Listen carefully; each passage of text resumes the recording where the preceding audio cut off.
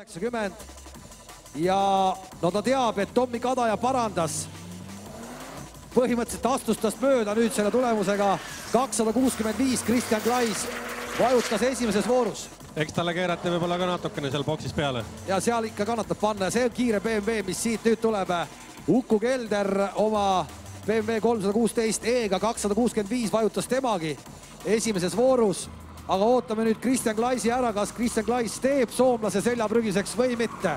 mul on tunne, et siin on tagumised rattad ära vahetatud vahepeal, et ennem oli seal palju ilusam pelgel. kakssada kuuskümmend üheksa, Kristjan Klais nii et ikkagi saab soomlasest jagu ühe kilomeetriga